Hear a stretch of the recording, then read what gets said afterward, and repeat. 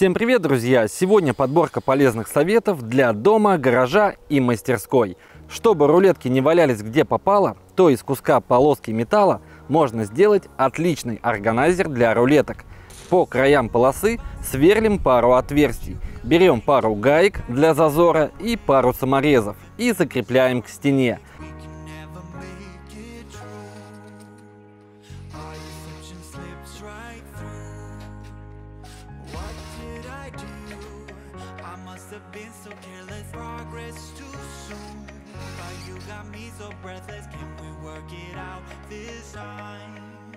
Ну а далее вешаем рулетки на свое законное место.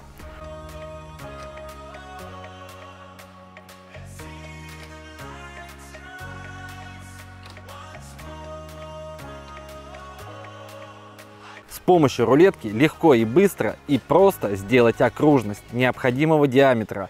Просто вбиваем гвоздик в центр или прикручиваем саморез, прикладываем рулетку и делаем разметку по кругу. Вот такая залипашка получается.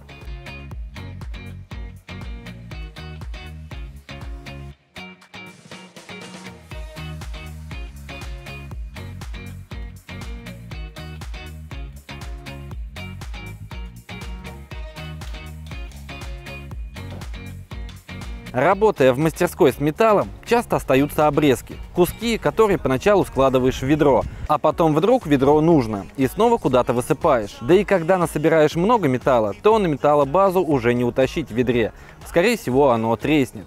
Поэтому подсмотрел идею в автосервисе, как ребята собирают металл. Используют большие пластиковые канистры, а от нее отрезают небольшую верхнюю часть, чтобы ручка осталась и была по-прежнему жесткая. Ну а далее получаем контейнер для хранения чермеда. Удобно переносить, да и вообще, как накопится штук 5, закинул в багажник и сгонял на металлоприемку, и можно вернуть небольшой кэшбэк.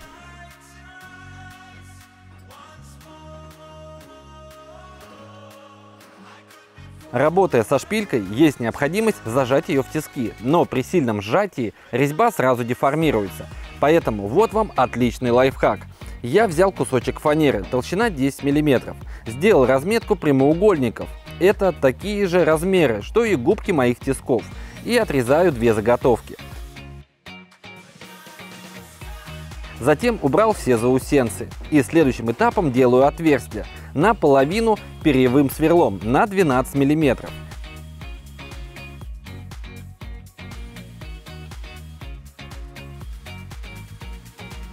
Осталось капнуть секундного клея и закрепить пару неодимовых магнитов. После высыхания у нас получились накладные магнитные столярные губки, в которых и доску можно зажимать, и любые резьбовые элементы, и уже тиски вреда не принесут.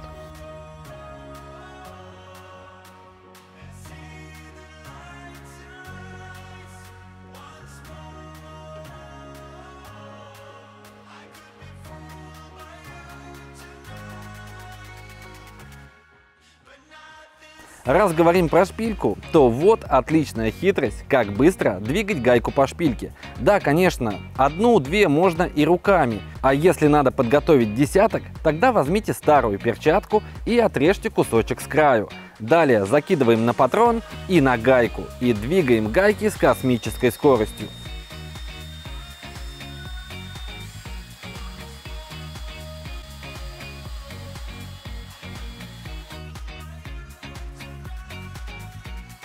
У нас свой частный дом. Температура за бортом плюс 25 градусов. И для детишек хочется поставить бассейн. Диаметр его 3 метра. Для этого я вбил кол и сделал примерную разметку. Далее снял плодородный слой и стал выравнивать площадку. Сначала с землей, а затем накидал пару тачек песка и равнял правилом. Специальные подложки я не покупал, на них нет смысла тратить деньги, ведь любой острый камень все равно проколет полиэтилен. Безопасную подложку под бассейн решили делать из утеплителя Penoplexx Comfort. Толщину взяли в 3 мм. Это отличный материал и часто применяется в стройке. Например, сделать утепленный фундамент, отмостку вокруг дома. Мы его использовали в теплые полы под стяжку и утепляли фасад дома из блоков. У него низкий коэффициент теплопроводности, нулевое водопоглощение, высокая прочность на сжатие, а самое главное, он долговечен и экологичен. Поэтому такой материал универсален и применяется не только в строительстве, но и в домашнем хозяйстве. Вот и под бассейн его отлично применять. Маленьким ножкам будет мягко и безопасно передвигаться. Сам пеноплекс скрепил по швам на клей пену и временно прижимал рейками. После высыхания пены снял все рейки, постелил еще дополнительно сверху пленку, завернув ее вовнутрь, поставил бассейн и наполнил водой. По итогу результат мы получили очень хороший. Передвигаться, бегать, прыгать в бассейне очень комфортно и самое главное, твоя душа спокойно за карапузов. На своем участке порой воюешь с кротами. То их нет, а то вдруг появляются. И как нароют. Поначалу ходил, просто затаптывал их норы и смотрел, вернутся они еще или нет. Понял, что топтать бесполезно и сделал пару простых вертушек. Делать мы будем из обычной пластиковой бутылки. Также нужен маркер для разметки. Сверло или можно раскалить гвоздь, чтобы сделать отверстие, ну и пару дополнительных предметов. Вообще все гениально и просто. Сначала делаю отверстие на дне бутылки. Диаметр тут примерный, в зависимости от вашего штыря. У меня получился 14-16 мм. Далее наношу разметку на бутылку и делю на три одинаковых окна. Затем вырезаю канцелярским ножом, чтобы получилось что-то в виде дверцы.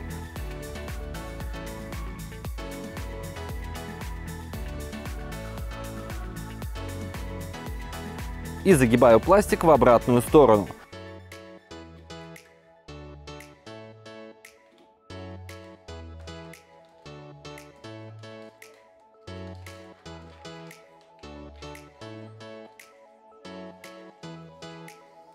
Далее беру гвоздь или длинный саморез, срезаю шляпу и приматываю на изоленту.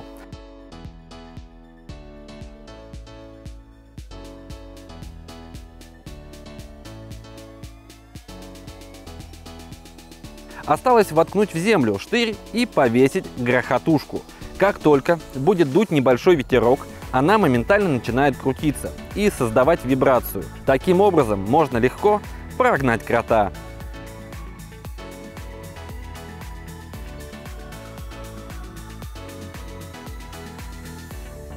При стройке и ремонте, делая разметку уровнем, особенно где-то вверху, если поверхность гладкая, то уровень может просто убежать и не дать вам прочертить ровную линию. Чтобы этого избежать, возьмите пару канцелярских резинок и оденьте по краям. Таким образом уровень не будет скользить и вы точно и тщательно сделаете разметку. Напишите в комментах, друзья, как вам такие советы, какие понравились, а какие нет. Поставьте лайк, это помогает продвижению моего канала. Ну и подписывайтесь на канал, а также обязательно жмите колокольчик, чтобы не пропустить новые выпуски. Всем спасибо за просмотр, всем хорошего настроения, всем пока-пока.